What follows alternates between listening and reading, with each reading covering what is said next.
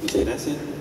El siguiente tema se lo quiero dedicar a, todas aquellas personas queridas eh, que se fueron, pero que siempre están en el recuerdo. Es de este mismo autor eh, del vals primero que toqué, José Antonio Ramos, eh, y se, llama Don José. Y el título, bueno, nombra a mi padre, que falleció no sé, en Bolivia.